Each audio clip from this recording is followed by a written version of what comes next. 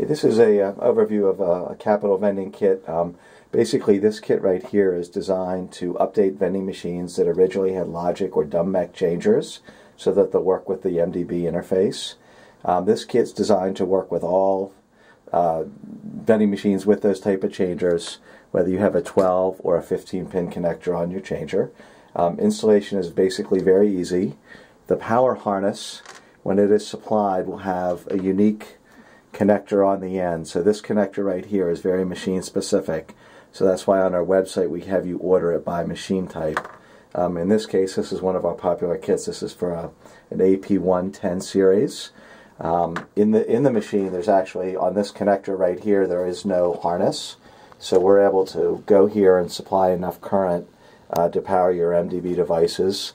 Um, other machines, you might have a connector that looks like this, so essentially have you take an existing connector off the board, connect this, and then on the red and black wires are going to be tapped here, and that gives us our, power. So the uh, with your purchase, the instructions come are machine specific, so it's very easy to install this kit.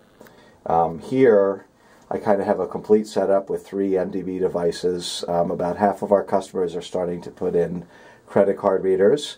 So if you purchase this kit, you're lucky if at the time you're just updating to get a, uh, maybe to have a validator that accept fi accepts five dollar bills or to be able to dispense dollar coins. Um, in the future, you'll you've already got this paid for and can easily add a credit card reader. Um, when you're installing this, most important thing, you want to follow this harness right here. So this is my MDB connector. If you're not installing a credit card reader, it will go first to the dollar bill validator, then to the coin changer. In this case, when you're doing your installation, just so that in order that everything works properly, um, this will first plug into the telemeter, which is basically gives you the uh, cellular interface for your credit card reader. So after the telemeter, right here, this connector goes to the validator, and finally the last single connector is going to go to the coin changer. Um, this is kind of an overview of a, kit. We kind of sell as setups so that when we ship it to our customers, they have everything that they need.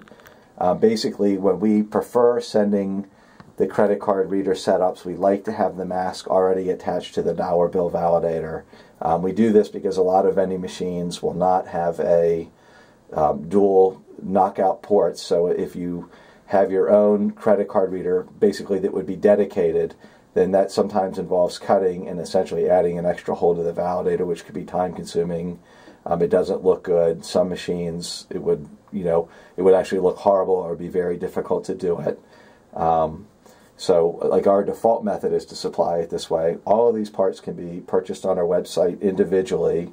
So, if you already have your changer and validator, um, if you go to the section of our website that talks about uh, updating vending machines to credit card readers, each piece is uh, available individually. Um, this piece, I guess, is the focus of the video um, where we're going from Logic to MDB. Um, we have other videos where if the control board already is has MDB, uh, it's a lower cost uh, interface, a much lower cost interface to be able to uh, install MDB components. But again, if you have a dumb mech, a 12 or 15 pin dumb mech, um, you're often going to put this in, but our website has a listing of which machines need require require which kit. So uh, should be a big help in deciding what you what you want to do and how you want to put in your uh, MDB components.